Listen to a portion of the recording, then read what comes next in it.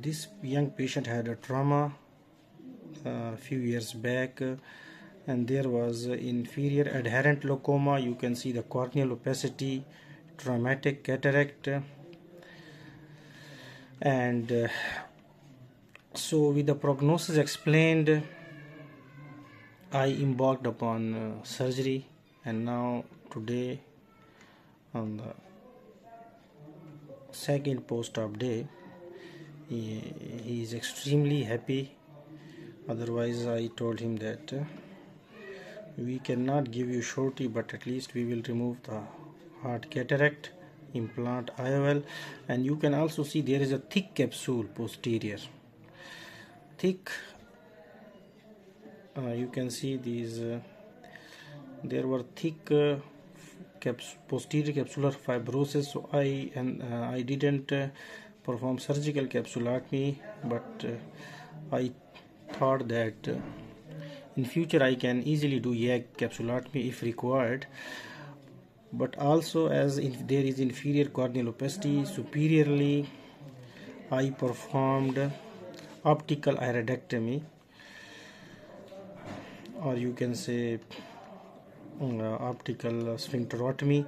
You can see the cuts in the superolateral iris. So the patient is extremely happy and uh, just he was counting finger and uh, with just small improvement in the vision can change a lot in patients uh,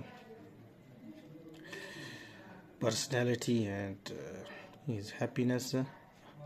And Landeugura you can see the air bubble still here and we have implanted there is still a plaque thick capsular plaque is there.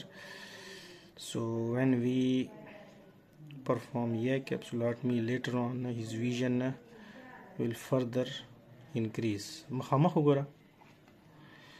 So the patient was very happy. I also performed i removed the attached iris from the cornea because uh, slowly and gradually the corneal opacity was increasing and corneal decompensation was occurring. So I uh, removed detached the iris from the cornea performed sphincterotomies phaco with foldable IOL implant and you can see the patient and his happiness. نو اوس څنګه خوشاله کنه خوشاله اول نه خوشاله اول نه خوشاله اول نه ډیر شي کنه اول نه ډیر شه د اوس د غونې له خلاص سوله سره خالی بوج پرون لاو نن بوج دون له گزاره نشته چلو ٹھیک نور غوتا ته ډاکټر سیس